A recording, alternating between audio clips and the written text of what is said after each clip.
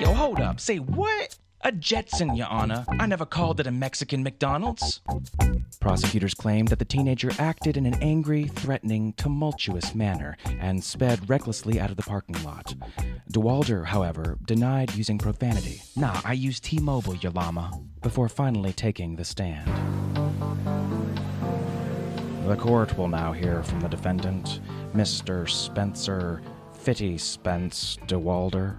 Mr. DeWalder, do you swear to tell the truth, the whole truth, nothing but the truth, so help you, Knight Rider? Yeah, I swear to tell the truth, I got nothing to hide. Your Honor, I've been denied my basic constitutional right to freedom of speech. Big Mac with cheese and a diet Sprite. G's like me can't help themselves from busting rhymes.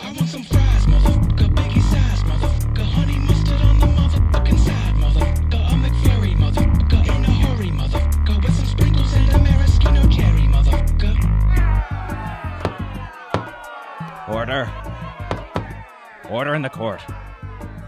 Mr. DeWaller. Yo, that's my slave name. Ugh, Mr. Fitty Spence, would you please refrain from obscene language in the courtroom and just state your defense in an everyday speaking fashion? Aight, aight. Yo, for real, I feel ya. So, yeah, as I was saying, know what I'm saying? Yo, Arby's wasn't open and Checkers was closed, so shit was whack right off the bat, and there was nowhere else to go with the exception of Chipotle. I'd be down with those fajitas, but repeatedly eating that makes me down with diarrhea. Then my homeboy Jeff was like, let's just get some nuggets, and despite my better judgment, I said, whatever, fuck it. We pulled into the drive-thru with my station wagon thump and told the shouty on the intercom, yo, I wanna order something.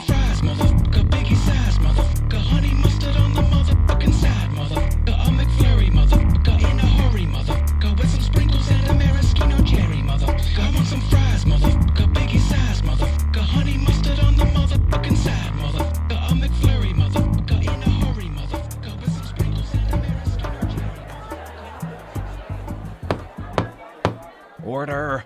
Order in the court. Yo, for real? Aight, Dan. Y'all got nuggets? Yeah, yeah. The results of the trial?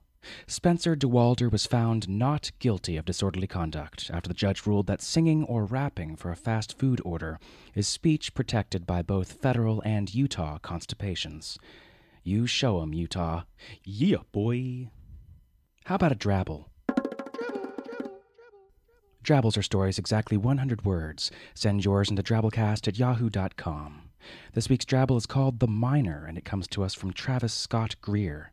Travis is a writer living in Colorado Springs.